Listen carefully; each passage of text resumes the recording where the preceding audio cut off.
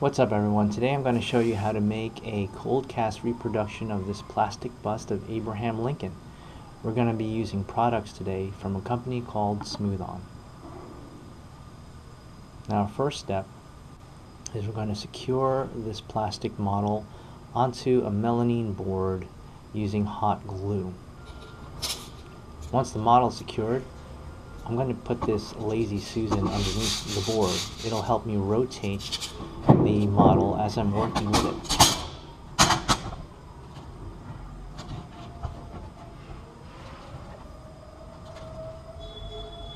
Next we're going to apply uh, Ease Release 200 which is a release agent and we're going to spray a very light coating onto the surface of our model to help facilitate the release of our mold rubber from the model surface.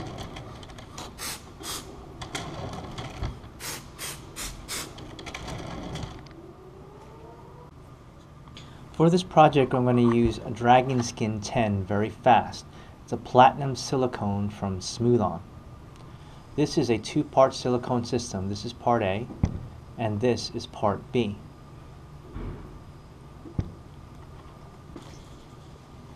Wear latex-free gloves when working with silicone. Latex will inhibit the cure of silicone, so make sure your gloves are latex-free. We're going to open up part A. I'm going to take a clean a stir stick and we are going to stir the contents very thoroughly. Make sure to scrape the sides and the bottom as you do this. We're going to do the same thing now for part B. Again, clean mixing stick, stir very thoroughly, scraping the sides and the bottom as you go. The mix ratio for Dragon Skin 10 very fast is 1 to 1 by volume. So you want to dispense equal amounts of part A and part B. First we're going to dispense part A into a clean mixing cup. Now for part B, I marked the cup with a black line. This is important because both parts are translucent. This will help you keep track of the different materials that you're working with. Part B is now dispensed. The same amount of as we did for part A. So you have equal amounts of A and B. Now we're going to color our silicone part B with Smooth-On's Silc Pig silicone rubber color system. For this first layer, we're going to use the green color pigment. So I'm going to take this clean popsicle stick and I'm going to dip it into the colorant and I'm only going to use a very tiny amount, just this amount, to color the part B of our silicone system. Now I'm going to add part A to part B. Using a clean stir stick, I'm going to scrape out the material into the mixing cup.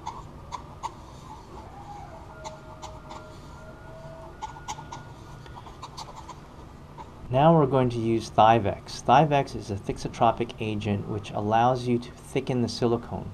We're going to use Thivex in every layer of silicone that we're going to be working with today. It only takes a small amount to thicken the silicone.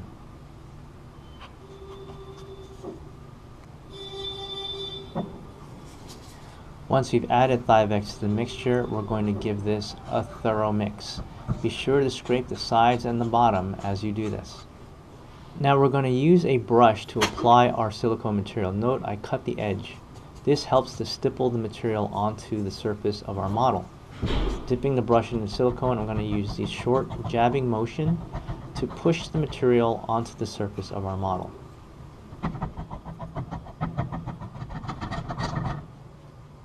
Here now is our first layer. Note how thin it is applied to the model surface. We want it nice and thin to capture all the detail of our model. We're going to allow this first layer to tack up before we apply our next layer. For our next layer, we're going to use a Silc Pig Yellow. Following the same steps as we did before, we're going to add a tiny amount of colorant using a clean stick. Just this amount is enough to color part B. We're going to add Thivex to this layer and apply this to our model. For this layer, we're going to use just simple brushing, no, no stippling required here. We're just going to apply thickened silicone to create our second layer. Now for our third layer, we're going to use Silc Pig Red. Again, same process.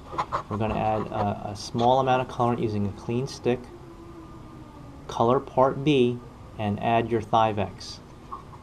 For this layer, we want it nice and thick. Now I'm going to use actually a popsicle stick to apply the thickened silicone. Note how thick it is on this layer. We're going to use this to put on a our final coat of mold rubber onto our model.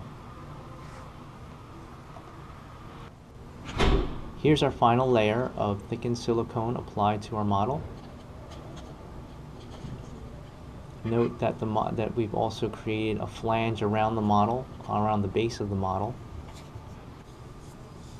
We're now going to trim off the excess material on the base. And this is important because we want this to register to our support shell. So having a nice clean edge helps with the registration. We're going to trim off all four sides. Now, also to assist with registration, I'm going to trim off the front two edges, giving it an angled cut. Again, this will assist with registration in our support shell.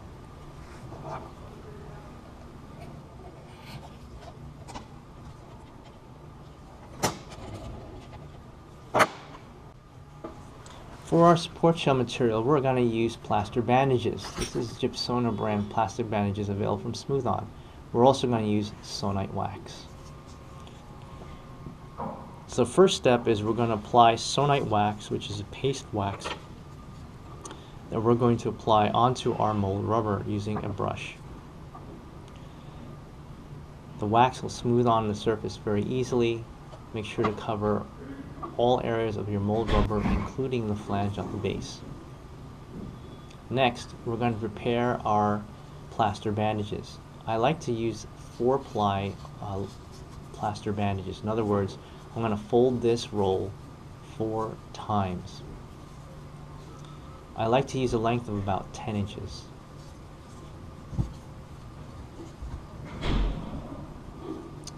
So this is our first layer of our plaster bandage.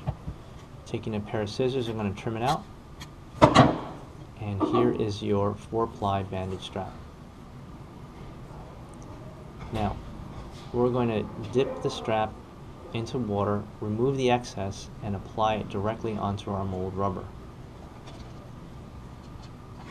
Pressing the plaster to the surface of the rubber, we want the plaster bandage to conform to the shape of the rubber.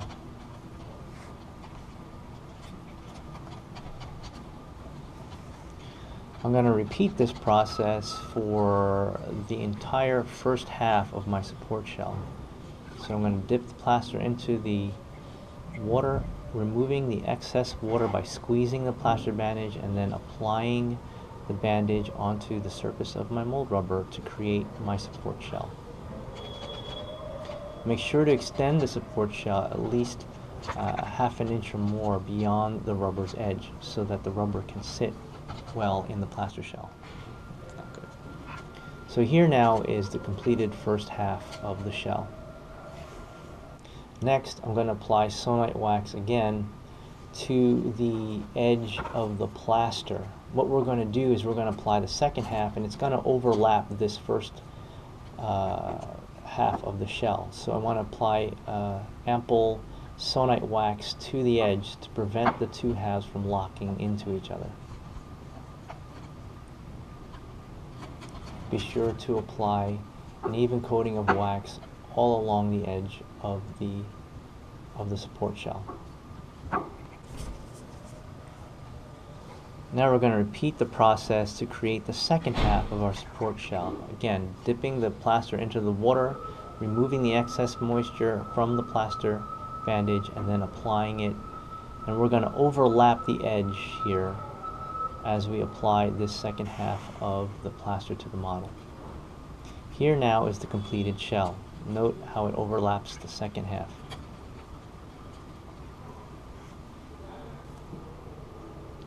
Once the plaster is fully cured, uh, we'll be able to demold them. Be careful as you remove this. It may take a little bit of work on the on the edging between the two plaster shells, but once you get that going, it's easy to remove. And here's the shell removed. Now we're going to apply a little baby powder to the mold rubber. And the reason we do this because we want to facilitate the removal of our glove mold from the model. Adding a little baby powder to the surface um, basically uh, helps remove the tension from the surface of the mold rubber and it makes it easier to peel back. So now I'm going to take off our glove mold from our model to extract the original plastic model from the mold rubber. Take your time when you do this, you just want to carefully peel the mold rubber away to extract the model. And here we go. With the original model removed, I now will reseat the mold rubber back into support shell.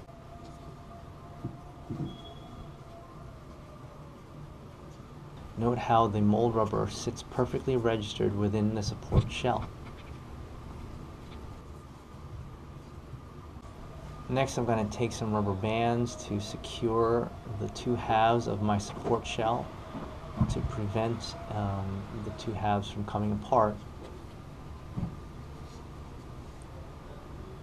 I'm going to take this deli cup and I'm going to put my support shell inside it. This will help create a level surface so that I can pour my resin into the mold rubber. And now my mold rubber is ready for casting.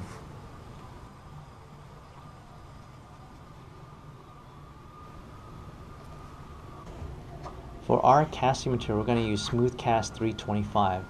This is a two-part polyurethane system. This is part A, and this is part B. Note when working with this polyurethane system, you want to shake the material well before using. I'm going to shake part A. Similarly, we're going to shake well before using part B.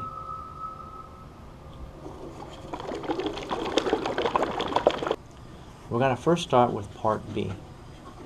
We're going to dispense um, into a 2 ounce container.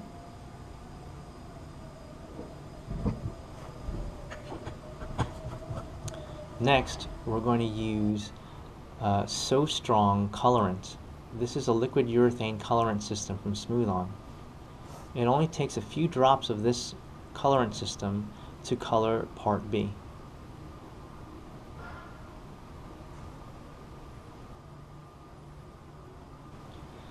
Taking a clean popsicle stick, we're going to stir the colorant into part B to color the material.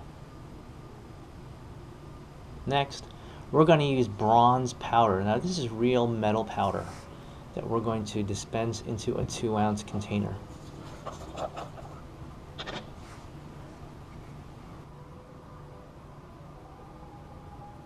Now we're going to dispense part A.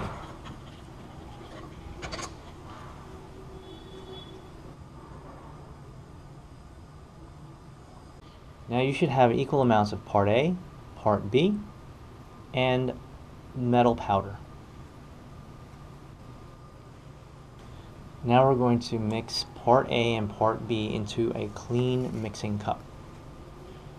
I'm taking a clean popsicle stick, we're going to give it a good stir. Be sure to scrape the sides and the bottom as you go. Give it a stir for about 30 seconds and then we're going to start sifting in the metal powder into the mixture.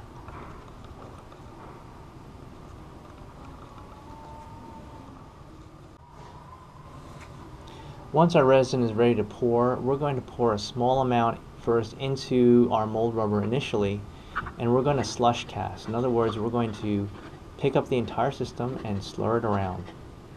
This helps to push the resin through all of the detail of my mold rubber. We're going to continue this process and continue to swirl the material around so that we get nice even coverage throughout the entire interior of our mold rubber.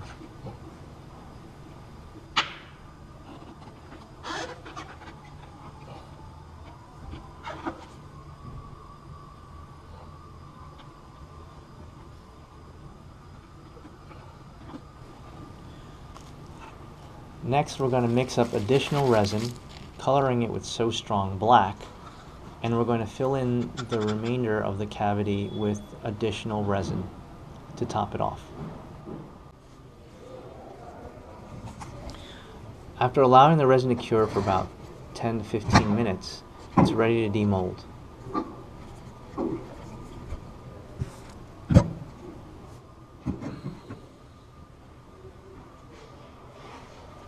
Again, we're going to be uh, very careful in removing the mold rubber. Just work the rubber edge up and slowly remove the rubber from the model to extract our reproduction.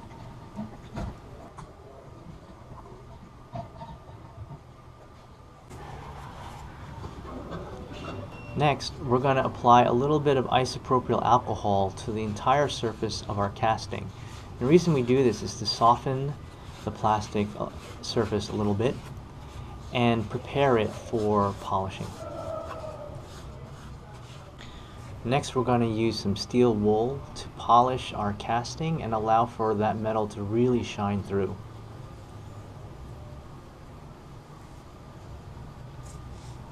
We're then going to apply some black shoe polish to our casting to further enhance the detail of our model.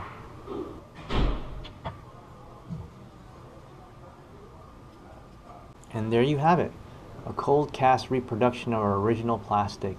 The metal powder looks incredible, and it has the look and feel of real metal.